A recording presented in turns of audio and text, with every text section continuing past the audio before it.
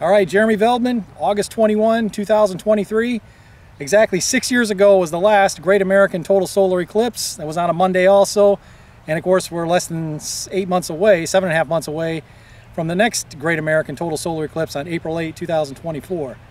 Now today what I want to do is demonstrate this uh, Solar Snap app that you can get for your iPhone. And it turns out you can take some pretty good pictures, I think, of the eclipse with uh, this Solar Snap app and with your iPhone. So we're going to try this out today. You can get this from American Paper Optics right here in Memphis, Tennessee. My buddy John Jarrett.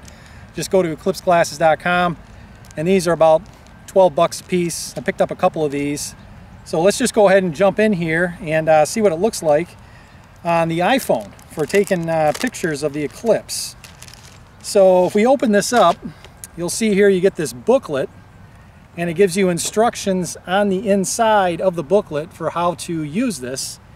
And there's actually a QR code here in the upper left. So if you take your iPhone and you scan that QR code, you will actually download the Solar Snap app for free on your phone. And that will have a few simple um, uh, features, if you will, that you can use to tweak and actually get the sun into the field of view of your iPhone. I'll show you that in a minute.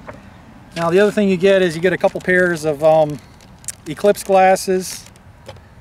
So that's also good. A couple extra pair of eclipse glasses. And then you also get this right here. And this is the actual Solar Snap app, if you will. You get two of these and they're pretty simple. They're just a simple filter that goes on the back of your iPhone like so. And there's, there's actually a Velcro stick that you can use. Now for the purposes of today I'm just using a piece of blue tape so I wouldn't necessarily recommend that but uh, they have these velcro sticks that you can use and basically what you do is you just put it on the back of your uh, solar snap app here and then you take that and you stick it on the back of your iPhone and you're ready to go so here we are and again I'm using blue tape now you got to download the app install the filter and then uh, the booklet will actually give you instructions on how to tweak the filter to get the sun into the field of view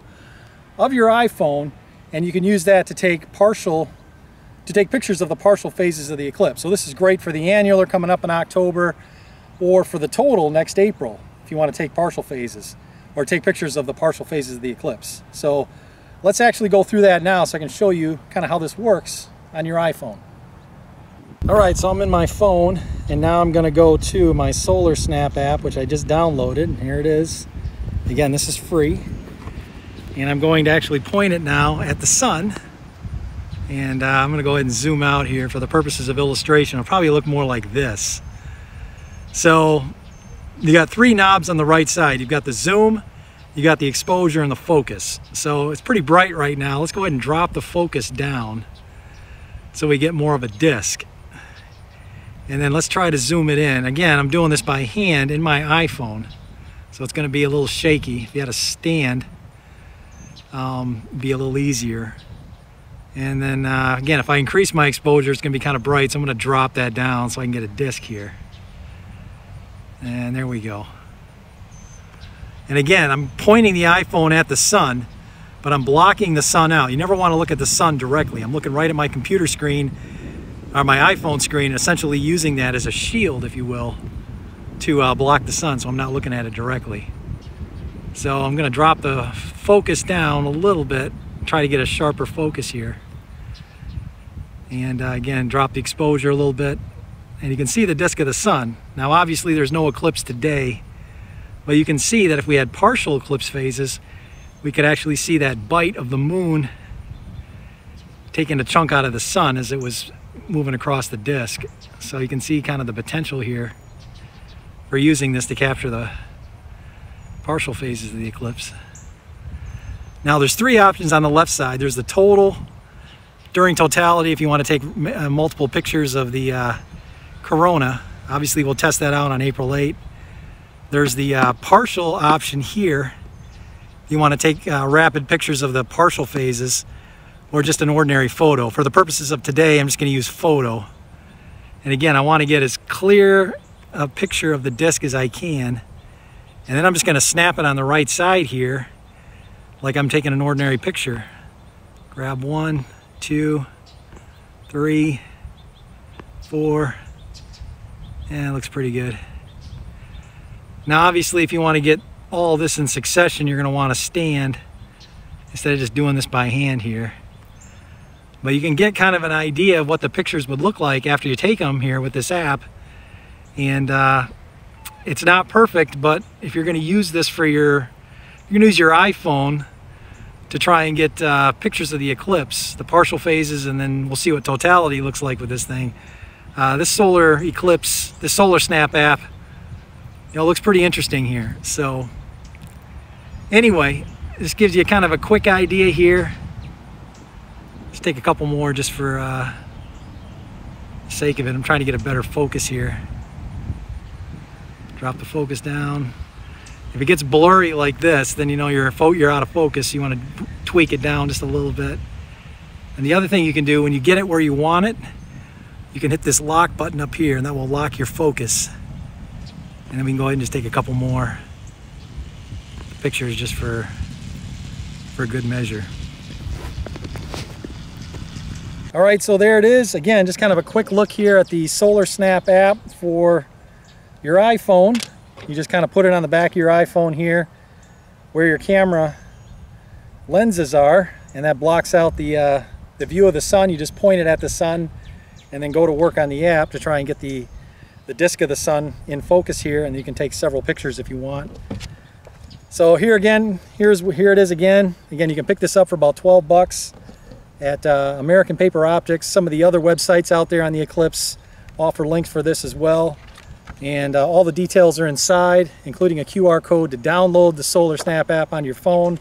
It is free, fairly easy to use. I've never used it for an Eclipse, so full disclosure, my first time will be probably in October, October 14th for the annular.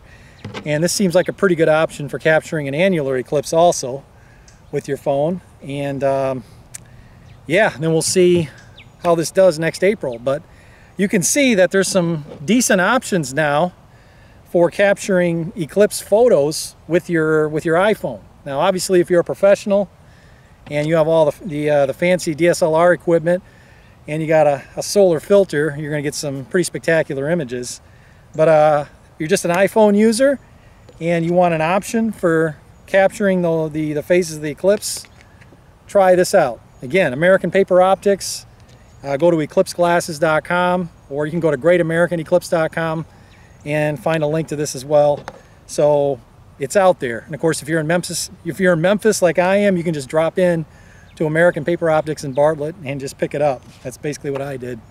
Give them 12 bucks, or in my case 25, and I picked up two of these. So uh, pretty neat.